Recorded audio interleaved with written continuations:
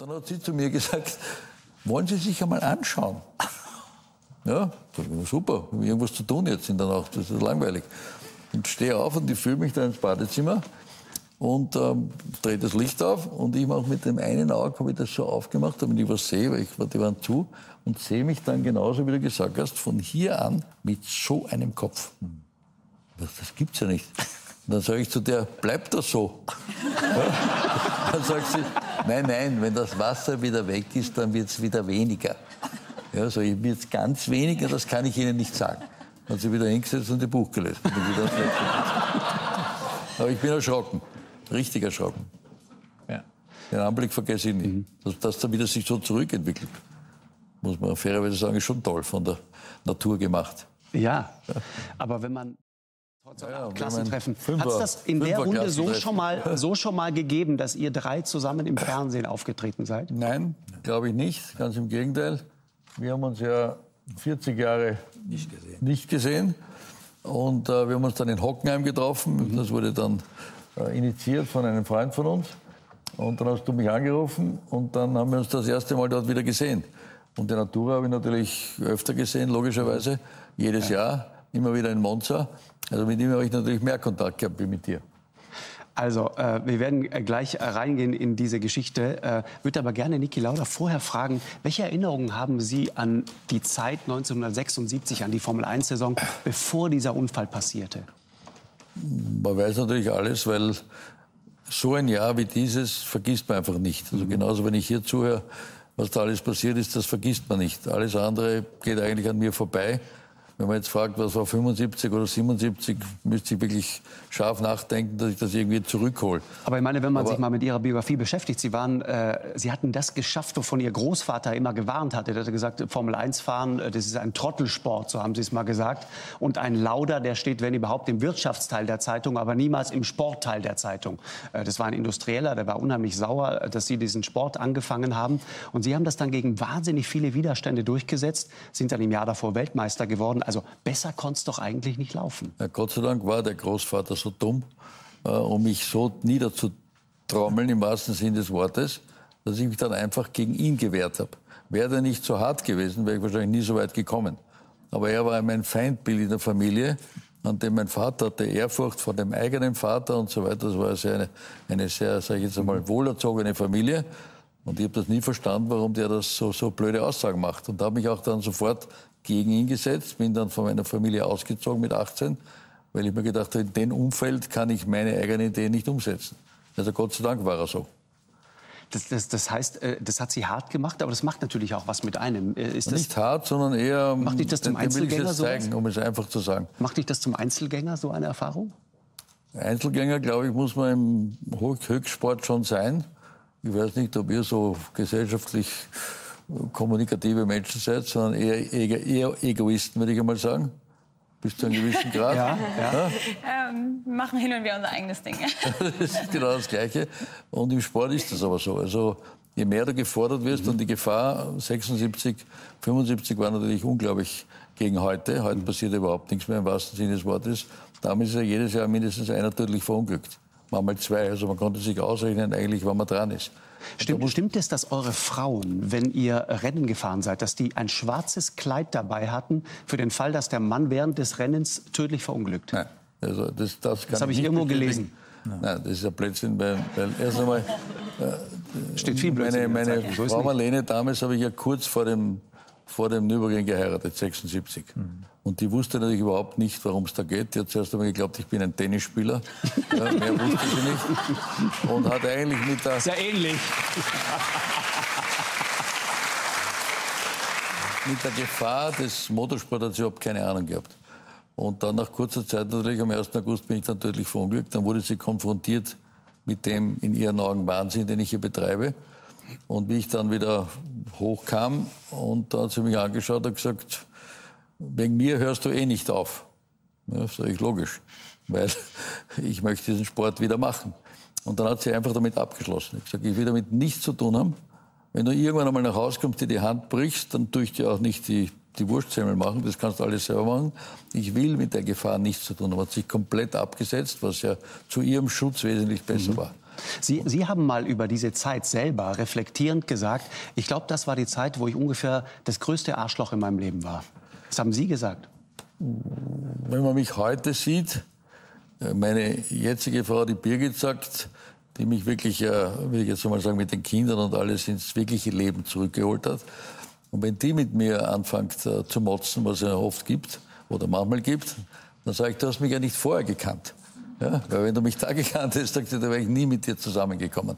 Also es stimmt schon, dass man sich damals schützen musste. Ich musste mich schützen damals, diese Gefahr eingehen zu wollen, sich zu fokussieren auf den Rennsport. Weil jede Ablenkung, jetzt im, im wahrsten Sinne des Wortes, ein Fehler und ich bin nicht mehr da. Mhm. Da ist man sich so fokussiert, dass eigentlich alles andere auf der Strecke geblieben ist. Heute ist es natürlich ganz anders. Die Gefahr setzt man sich nicht mehr aus und damit wird man, so ich mal sagen, ganz ein normaler Mensch. Mhm. Wie ist Arturo mit dieser Gefahr umgegangen? Äh, von Niki Lauda weiß ich, dass er ein Einzelgänger war. Äh, wie sind Sie und auch die Kollegen mit dieser Möglichkeit des Sterbens bei jedem einzelnen Rennen umgegangen?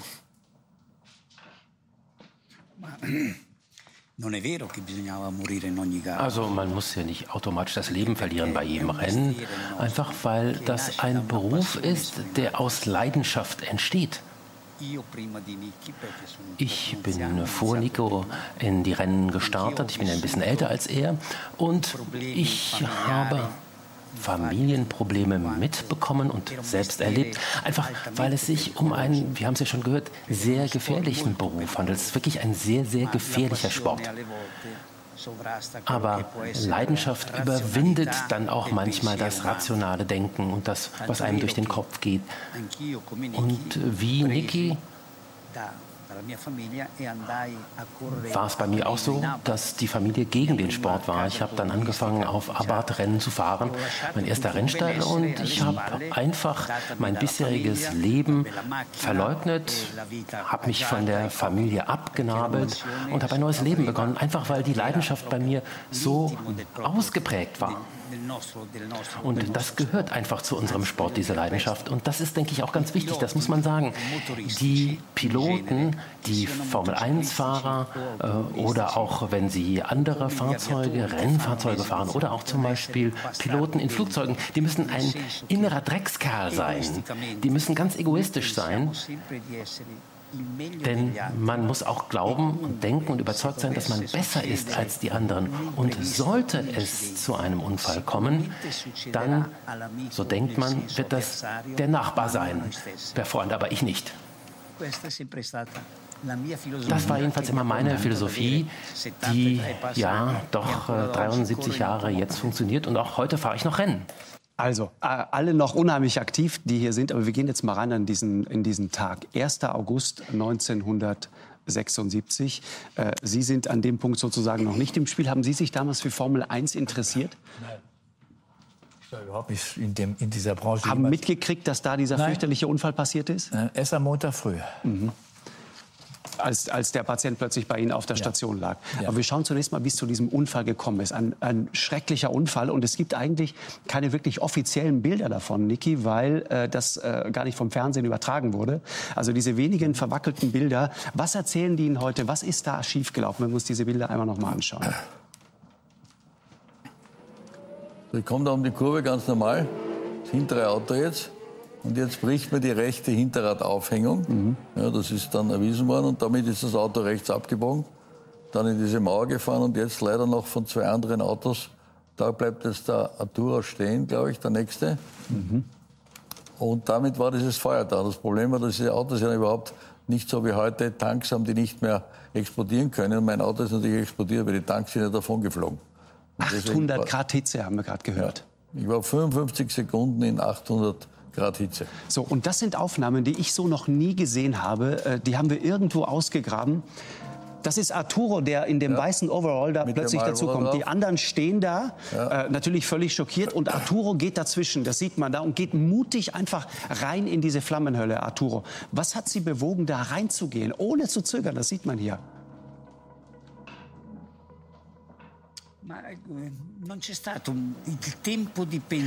Ich habe gar nicht die Zeit gehabt nachzudenken, wieso, warum soll ich da jetzt reingehen. Ich habe einfach angehalten, instinktiv und bin da hingegangen. Ich wusste auch gar nicht, dass da Niki drin war. Es hätte auch äh, ein anderer sein können. Und ich habe das Auto angehalten, habe auch gesehen, dass es andere Fahrer gab, andere Menschen, die versucht haben, zu diesem Fahrer da vorzudringen. Aber keiner hat das wirklich gemacht und ich habe einfach mehr gewagt als die anderen. Beim dritten Versuch allerdings habe ich es dann erst geschafft, Niki aus den Flammen zu ziehen, denn immer wenn es mir zu heiß wurde, bin ich natürlich wieder weggegangen. Aber es war nun leider so, dass äh, Niki mir gar nicht geholfen hat. Er hätte sich entspannen müssen. Das Problem war, ich habe den Gurt von ihm nicht losbekommen. Denn äh, sein Fahrzeug hatte sich ja durch den Aufprall verformt und deswegen waren die Gurte sehr stark angespannt und ich konnte deswegen seinen Gurt nicht lösen. Und als es dann dazu kam, dass er ohnmächtig wurde, da plötzlich äh, erschlaffte sein Körper und da habe ich dann in meinem letzten Anlauf sozusagen den Gurt öffnen können. Aber das, was heute für mich nach wie vor undenkbar ist, ist, wie ich das schaffen konnte. Jemand, der so klein und dünn war wie ich, einen Kollegen aus diesem Wrack herauszuziehen. Äh, ich wog 60 Kilo, er war etwa genauso schwer wie ich. Und ich habe ihn leicht wie eine Feder rausgezogen und habe ihn dann neben die äh, Fahrbahn gelegt. Und ich glaube, sein Glück war auch, äh, war ja stark verbrannt, aber es war ja auch so, dass ich, äh, als ich äh, meine Militärzeit hatte, einen äh, Erste-Hilfe-Kurs machen wollte und machen musste. Und er hatte ja, Niki, äh, nicht nur Verbrennung, sondern er hatte auch giftige Dämpfe eingeatmet. Alles, was da ausströmte im Cockpit, das waren hochtoxische Stoffe. Und ich habe deswegen zunächst einmal eine Herz-Lungen-Massage durchgeführt. Äh, und wir haben ja hier auch einen Arzt, äh, der wird sicherlich auch noch etwas dazu sagen können. Ich glaube, das war wirklich sein Glücksfall, dass ich ihm erste Hilfe leisten äh, konnte. Er hat sieben und acht Minuten vielleicht deswegen auch überlegt, bis dann die richtigen Ärzte da waren und die haben dann die notwendigen weiteren Maßnahmen durchgeführt. Eigentlich eine unvorstellbare Situation heute. Wir haben das eben gesehen, auch in, in, ähm, auf diesen letzten Schwarz-Weiß-Bildern. Sie waren bei Bewusstsein, Herr Lauder. Ja. Ich kann mich erinnern, weil der John Watson, den sieht man ja da, der hat hinten den Kopf gehalten. Ja. Äh, und Arturo dem, sehen wir da auch, ne, der ja. da erste Hilfe leistet. Und zu dem habe ich gesagt, was habe ich mit dir da geredet? Äh, äh, hab ich, hat er gesagt, ich hätte ihn gefragt, wie ich ausschaue. Ja, und daraufhin habe ich, hab ich gesagt, was hast du denn gesagt? Ich habe gesagt, du schaust super aus, mach dir keine Sorgen. Ja, also ich konnte da schon kommunizieren, hatte aber keine Ahnung. Das sehe ich alles hier genauso, wie wenn ich gar nicht dabei wäre. Weil da fehlt sozusagen die Erinnerung. Genau. Ja? Und die Erinnerung, das haben Sie mal beschrieben, die setzt dann wieder ein, als Sie im Hubschrauber, Hubschrauber, sind wieder, ja. und, dann, und dann Richtung Krankenhaus ja. geflogen werden. So, und dann beginnen dramatische Tage. Arturo wollte eben noch mal kurz was ergänzen. Ja, ja vielleicht noch Folgendes. Als äh, Niki ohnmächtig wurde und ich ihn deswegen aus dem Cockpit rausziehen konnte, legte ich ihn neben die Fahrbahn und dann ist er wieder zu sich gekommen, auch nach meiner Herzmassage. Als ich ihn dann beatmet habe, ist er wieder zu sich gekommen. Aber das, was ihm zuerst durch den Kopf ging, war das, was er mir auf Italienisch gesagt hat. Er spricht sehr gut Italienisch, äh, auch wenn er es hier nicht zugibt. Aber er hat gesagt, wie sieht mein Gesicht aus? Und ich habe gesagt, ach, wunderbar, ganz schön. Und äh, ich wollte ihn einfach beruhigen, aber es sah wirklich total schlimm aus, denn er hatte ja den Helm verloren beim Aufprall und war wirklich wirklich im Gesicht stark verbrannt. Ja, das sieht man. Mal, mal ganz ernsthaft gefragt, äh, haben Sie wirklich daran geglaubt, dass er das überleben würde? Nein. Aber ich habe schon den Eindruck gehabt, dass er wieder zu sich kommen würde. Er hat ja einen Überlebensinstinkt und ich glaube, äh, das ist auch das, was uns von Tieren unterscheidet. Er hatte mich ja gefragt, wie sieht mein Gesicht aus? Und das war für mich ein Zeichen dafür, dass er leben wollte. Er wollte sich nicht aufgaben, aufgeben und das war es dann sozusagen sagen, sondern ich glaube, wir als Formel 1 als Rennfahrer, wir sind aus diesem Holz geschnitzt. Ich hatte das vorhin ja gesagt, wir sind etwas seltsame Menschen, wir sind innere Dreckskerle, aber äh, im wahrsten Sinne des Wortes. Das heißt, uns ist eigentlich alles scheißegal. Wir glauben nur an uns selbst, an unser Ego. Und das war doch das beste Beispiel.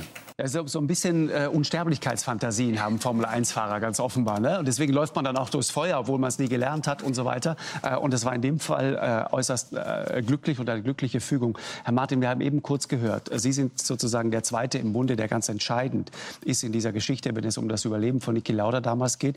Sie kommen am Montagmorgen in diese Klinik, äh, gehen da rein. Das war ja eigentlich gar keine Verbrennungsstation, auf der Sie Nein, dort tätig waren. Ne? Ja Hatten Sie was von dem Unfall am Sonntag gehört? Nein. Nichts. Nein. Kommen da rein, welches Bild bietet sich Ihnen? Ja, ich komme am Montag auf die Sichstation und sehe da jemanden mit einem riesen Kopfverband, der Kopf gewaltig angeschwollen und natürlich er hatte diesen Tubus schon über die Nase in der Luftröhre. Und dann, ich wusste erst gar nicht, wer ist das. Dann erfuhr ich die ganze Geschichte. Und da wurde ja über die BG-Klinik, die wir anästhesiologisch versorgt haben, zu uns nach Mannheim gebracht, weil wir als Anästhesisten mehr mit Beatmung uns spezialisiert haben. Das Problem bei ihm war, er hat ja massiv inhaliert. Sie sahen ja das Bild. Genau, diese Flammen, giftigen Dämpfe, ne? die Dämpfe Verbrennen und, und Plastik. der Plastikteil. Ja. Und das Problem war, dass wir bis zu diesem Zeitpunkt in der BG-Klinik 95 Prozent aller Patienten, die wir damals beatmet haben, also kontrolliert, mechanisch, sind verstorben. Und also wir, hohe Mortalitätsrate. So, hohe Letalitätsrate. Ja. Das, das Glück bei Niki war, er war wach und ansprechbar. Deshalb haben wir uns überlegt, wie, wie, wir wollen ihn nicht beatmen, wir wollen ihn nicht in diese, in diese fürchterliche Situation bringen, dass wir ihn mechanisch kontrolliert beatmen müssen. Da haben wir uns Darf ich kurz unterbrechen? Ja. Ich kann mich sehr wohl erinnern, ich habe gehört und war nicht in einem guten Zustand. Und da haben die gesagt, wenn wir ihn jetzt beatmen, dann stirbt er. Ja. Das haben Sie gehört? Genau. Ja. Da haben wir gedacht, na bumm, ich bin in einem super Zustand. Ja. ja. Also das wollte ich, habe ich nachher mit den Ärzten besprochen, wie ich wieder gesund ja. war. Das Problem ist, dass wir bei, bei der Inhalation verletzen Sie ja die Schleimhäute in der Lunge, in der Lunge. Und durch die mechanische Beatmung schieben Sie diese ganzen Partikel, die er inhaliert hat, in die Peripherie. Immer tiefer rein. Immer tiefer rein. Und das führt zu einer massiven Entzündungsreaktion. Kann man sich vorstellen. Dass am Ende die Lunge daran sozusagen geschädigt wird und daran stirbt man letzten Endes. Am Lungenversagen. Das heißt, diese Diskussion haben Sie mitgekriegt? Die habe ich mitgekriegt und konnte natürlich da nicht darauf reagieren, weil da konnte ich nichts machen. Aber nachher habe ich das natürlich dann gesagt, war aber, sage ich jetzt einmal, weil ich bei Bewusstsein war, schon gut, dass man das alles mithören konnte. Ja. Und dann haben wir ihm sozusagen nur ein Gerät angeschlossen, das seine, seine Spontanatmung unterstützt. Wenn er tief Luft holt, dann unterstützt die Maschine. Das Entscheidende war aber, dass er ja permanent abgesaugt werden musste, weil ja fünf Tage lang dieses schwarze Sekret aus der Lunge musste abgesaugt werden. Das ganze schwarze Zeug ja, kam da aus der Lunge raus? Über, über Tage. Und das Problem war, dass er, gut, er hat aber immer gewunken. Das muss man sich vorstellen. Das ist ein extrem schmerzhafter Eingriff, das Absaugen. Und er hat gewunken, dann muss man absaugen, und gut. Und das ging über fünf Tage. Und das zweite Problem hat, wir fürchten, dass dieser Tubus zugeht. Wenn der zugeht, dann muss man ihn entfernen. Und bei einem Kopf, der so ist und der Hals so, wieder den Tubus einführen, ist extrem schwierig. Und dafür hatten wir eine wahnsinnige Angst. Aber das hat der mit seiner der, der Hals war faktisch nicht ja, mehr genau, da. Genauso geschwollen, natürlich. Was, was haben Sie davon mitgekriegt, von dieser unglaublichen Schwellung? Sie haben es vorhin gesagt, der Kopf war ungefähr so breit wie die ganzen Schultern. Also ich kann nur immer wieder so Segmente äh, hören. Der erste war eben ganz am Anfang, wo Sie eben diskutiert haben, wie ich, mit welcher Behandlung ich sterben werde. Habe ich mir gedacht, aha, interessant, habe aber dann versucht natürlich sofort mehr zuzuhören. Also wenn du sowas kriegst. Und dann habe ich, wurde ich gefragt von einer Schwester, ich glaube am zweiten Tag, ob ich die letzte Ölung will. Da habe ich mir gedacht, schaden kann mir das sicher nicht. Das war mein erster Gedanke. Ja, weil wenn es darum den lieben Gott gibt, dann wird er mir helfen. Und dann habe ich genickt, weil reden konnte ich ja nicht durch die ganzen Schläuche, die ich drin hatte. Und dann ist nichts passiert. Da habe ich nur auf der Schulter gespürt, so ein Streifen, was bei, bei der Schwester oder bei der Behandlung immer passieren kann. Und es passiert einfach nichts. Und dann denke ich mir, hat mir der jetzt da hier kurz die letzte Ölung mit dem Kreuz gegeben und ist wieder verschwunden. Und so war es auch, weil der hat gedacht, ich bin ohnmächtig. und wollte mit mir natürlich nichts sagen. Ich habe mir gedacht, der liebe Gott wird dir jetzt helfen und es wird alles wieder schön werden. Das habe ich erwartet. Also Sie, Sie haben ein paar aufmunternde Genau, Worte um erwartet, zu Worte des Trostes und so. Ich Ja? denke mir, das kann nicht wahr sein. Der gibt mir die letzte Ölung und ich soll mich jetzt von ihm verabschieden, im wahrsten Sinne des Wortes. Das hat wieder in mir eine Aggression ausgeführt, die wieder gesagt hat, jetzt mache ich das sicher nicht. Jetzt höre ich wieder den Ärzten zu. Und so ging dann eins ins andere. Das heißt, Sie haben sich überlegt, da liegend, den knöpfe ich mir vor, wenn ich wieder so weit bin. Genau so war es. Aber dann war.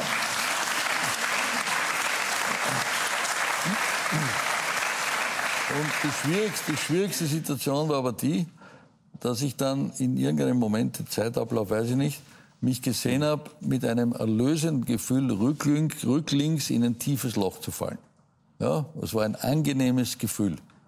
Und da habe ich gedacht, jetzt stirbst, jetzt ist aus. Ja, genau so war das.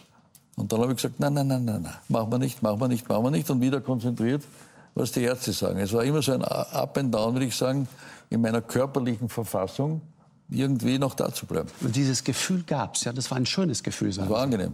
War unglaublich angenehm, erschreckend natürlich in dem Zustand, aber unglaublich angenehm, dass diese Last, die, glaube ich, auf mir gelastet hat, von Schmerzen und Behandlungen und alles, was da war, dann irgendwie weg ist und dann ist halt aus. Aber das heißt, Sie glauben heute, wenn Sie sich hätten reinfallen lassen in dieses Gefühl, dann wären Sie gestorben. Ich glaube, wenn ich nicht so aufgeregt worden wäre, zuerst durch die Ärzte, dann durch den Priester und dann durch den wirklichen, das Gefühl des Sterbens, wäre ich wahrscheinlich nicht mehr da.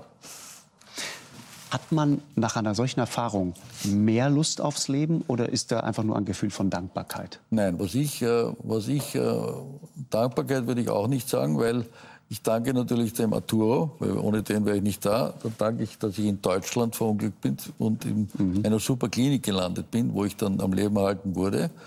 Aber äh, im Grunde bin ich ja das Risiko bewusst eingegangen. Und deswegen habe ich auch nachher damit kein Problem gehabt, hab, weil ich wusste ja eigentlich, dass ich immer tödlich verunglücken kann. Und ich war eigentlich dann froh, dass ich einen Riesenunfall gehabt doch noch am Leben bin. Also umgekehrt muss man das sehen. Und der Sport war halt damals so. Und das war klar, dass es passieren kann. Ich bin, habe Gott sei Dank überlebt und konnte nachher sogar wieder Auto fahren. Und deswegen habe ich das auch dann für mich absolut beenden können, das Ganze. Weil ich die Schwierigkeiten danach, wieder schnell Auto zu fahren, war natürlich nicht so einfach.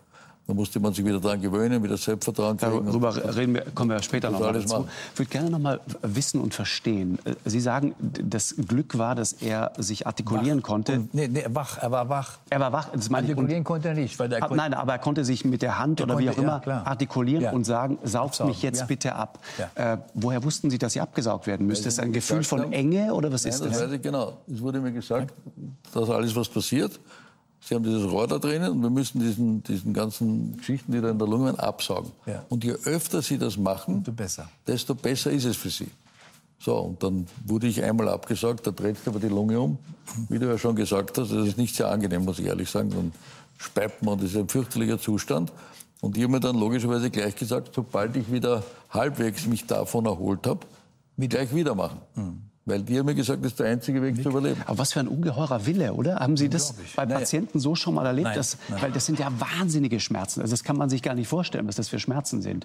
Wenn du immer wieder freiwillig sagst, saug mich ab, saug mich ab. Ja, das war wirklich beeindruckend. Also ich habe das selten erlebt, dass jemand so in der Form, alle Viertelstunde manchmal am Anfang, alle, alles manche Minuten. Absaugen, absaugen, absaugen. Das ging bei fünf Tage. Ähm, das war schon heroisch. Nur, Er kann natürlich auch ein bisschen Schmerzmittel, keine Frage. Aber dieses Absaugen ist einfach brutal, wenn man das wach erlebt.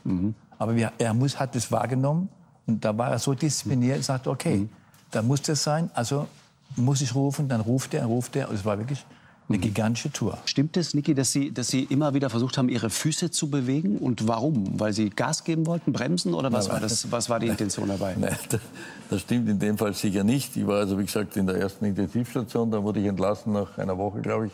14 Tage. 14 Tage und dann in die Verbrennungsklinik hinüber, wo dann die Haut transportiert wurde und alle diese Geschichten gemacht, gemacht wurden. Also da war ich noch voll beschäftigt mit medizinischem äh, Treatment.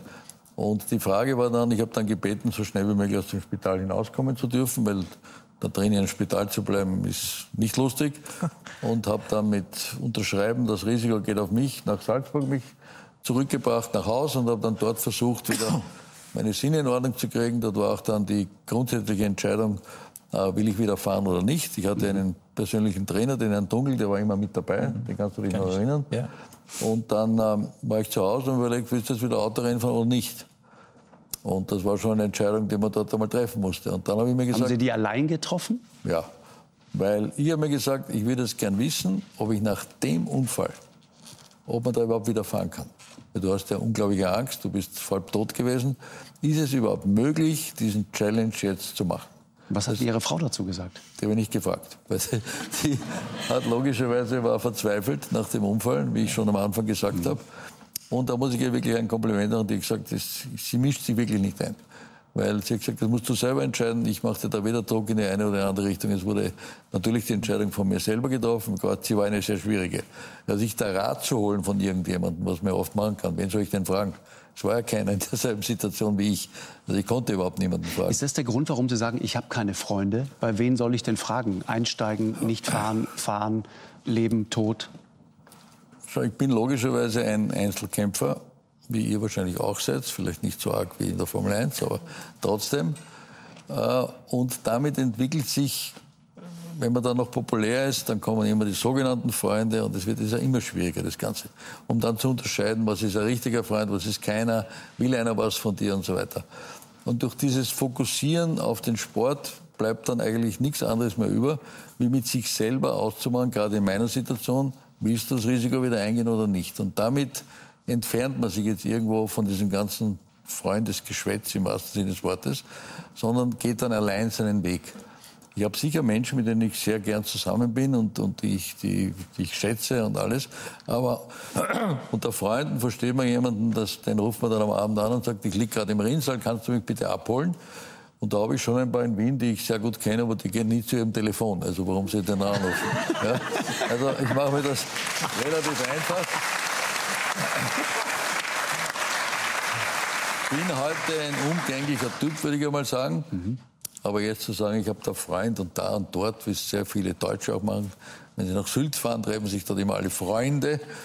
Aber die haben halt eine andere Beziehung. Bei Facebook hat man auch sehr viele ja, Freunde. Das bin ich auch nicht drauf. Ja. Da bin ich auch nicht dabei. Und dann ist man ja irritiert, also wenn bei der Beerdigung meine, keiner kommt. Ja. Aber Freund, Freund, würde ich sagen, ist meine Frau.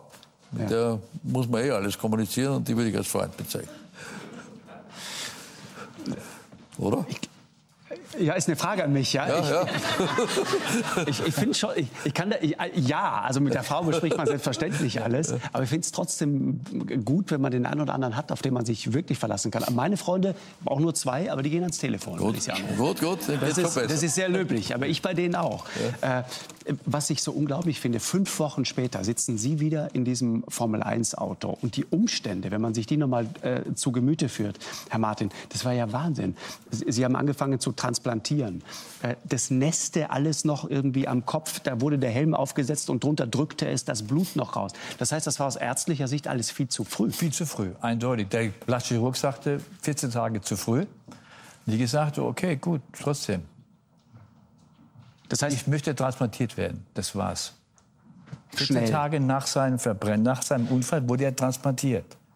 Einfach 14 Tage zu früh. Wir haben es gemacht, die BG-Klinik, und dann ja. entschwand er. Sieht schon eh besser aus. Ja, ja, aber ja. ich meine, das Ergebnis heißt das übersetzt, hätte natürlich dann hätte besser sein können. Besser sein können, ja. Mhm. Ja, aber da muss ich erst dazu sagen, wie ich entschieden habe, ich möchte wieder fahren. Ja, weil ich wusste das Risiko, was ich eingehe, ich kann mir das alles logisch erklären. Jawohl, ich möchte es wissen, ob man das wieder kann.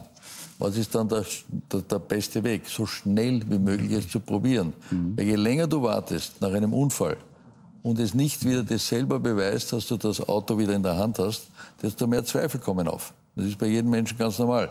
So deswegen war mein Ziel, wenn es medizinisch geht, Klar. Und die Transplantation wurde gemacht. Es wurde dann alles gemacht. Die wurde 15.000 Mal untersucht. In Monza kann ich jetzt fahren oder nicht. Mhm. Wurde dann klargeschrieben. Und dann war für mich klar, je früher ich wieder anfange, je schneller überwinde ich die Angst und alle diese Dinge, die natürlich mit so einem Unfall mitkommen. Mhm. Mit, mit Ihrem Äußeren, die Frage war ja direkt, wie schaue ich aus? Also noch im Auto sitzend. Haben Sie jemals damit gehadert? Erinnern Sie diesen Moment, als Sie dann das erste Mal den Spiegel gezeigt kriegten, um zu sehen, wie Sie wirklich aussehen? Ich erinnere mich genau an den Moment, das mhm. war nach mhm. deiner Zeit. Äh, du hast es früher gesehen, aber ich war dann in der Verbrennungsklinik. Da haben sie mich dann ans Bett gebunden mit den Händen, damit ich da nicht auf diese transportierte Haut da oben herumschrubbel damit, damit die nicht weggeht. Mhm. Und da fragt mich dann eine Schwester, die dort, die mich genervt hat, weil in diesem Zimmer war eine Neonröhre und die hat immer geknackst. Und die Gute saß neben mir und hat ein Buch gelesen, nur um zu schauen, dass ich nicht die Hände auf meinem Kopf tue. Und dann sage ich zu der, können Sie so freundlich sein und diese Neonröhre auswechseln? Sagt die Mensch, in der Mitte der Nacht wird doch keiner die Neonröhre auswechseln. Also ich kann aber nicht schlafen. Das ist fürchterlich. Immer knacks, knacks, machst du das da oben. Und, und also die hat weiter Buch gelesen. Und dann hat sie zu mir gesagt, wollen Sie sich einmal anschauen? Ja, super, ich irgendwas zu tun jetzt in der Nacht, das ist langweilig. Und stehe auf und ich fühle mich da ins Badezimmer und ähm, drehe das Licht auf und ich mache mit dem einen Auge, habe ich das so aufgemacht, damit ich was sehe, weil ich, die waren zu und sehe mich dann genauso, wie du gesagt hast, von hier an mit so einem Kopf. Das, das gibt's ja nicht. Und dann sage ich zu der, bleibt das so? Ja? Dann sagt sie, nein, nein, wenn das Wasser wieder weg ist, dann wird es wieder weniger. Ja, so wird ganz weniger, das kann ich Ihnen nicht sagen. Dann hat sie wieder hingesetzt und ein Buch gelesen. Aber ich bin erschrocken, richtig erschrocken. Ja. Den Anblick vergesse ich nicht. Mhm. Dass, dass da wieder sich so zurückentwickelt, muss man fairerweise sagen, ist schon toll von der Natur gemacht. Ja, aber wenn man, wenn man weiß, wenn man das hört, äh, hätte ich nur 14 Tage länger, das ist nichts, 14 Tage länger gewartet, hätte ich ja, heute... Was wäre dann besser gewesen? Äh, das äußere Erscheinungsbild. Meinst ein bisschen besser. Das Ohrwerk angewachsen. Ja, so. Und es war nie ein Thema. Nein, im Gegenteil. Es war, ich habe dann nachher eine Operation machen müssen an, an dem Auge da unten, weil das zieht ja. Und das Auge ist in der Nacht immer offen geblieben. Ja. Nach der Saison muss ich das, das operieren. Und da bin ich dann, äh, habe ich Ärzte gesucht und habe dann den Pitangui, der jetzt gerade verstorben ja. ist, ein brasilianischer mhm. Arzt, der in Rio war, der damals berühmt war für plastische, für plastische Chirurgie. Ja. Ja. Und äh, da habe ich angerufen, wo ist der? Der war gerade in der Schweiz, da bin ich zu dem hingefahren. Dann hat mir die Tür aufgemacht, hat gesagt, oh, Niki Lauda. Und ich gesagt, ich habe ein Problem, die Saison beginnt, ich muss unbedingt das Auge korrigieren. Da hat das Auge angeschaut, gesagt, super, mache ich sofort. Ich soll nach Rio fliegen. 14 Tage später, er hat seinen Skiurlaub zu Ende gemacht, machen wir das sofort. Dann bin ich zu dem hin und da war er glücklich, dass ich da war und hat dann Folgendes gesagt. So, jetzt machen wir dieses Auge, dann machen wir das, müssen wir gerade stellen und am Ohr können wir das vom Fuß nehmen, dann können wir das aufs Ohr machen. Sag ich, sind Sie verrückt? Ich muss Autorennen fahren. Auto, machen nichts, außer dieses Auge. Okay. Hat er dann gemacht, dann bin ich aufgewacht, dann hatte ich einen Schnitt hier, einen Schnitt da und da. Sag ich, was ist jetzt? Sagt er, ich musste das machen, ich konnte, konnte nicht. Das heißt, das Ohr ist aus dem Fuß modelliert?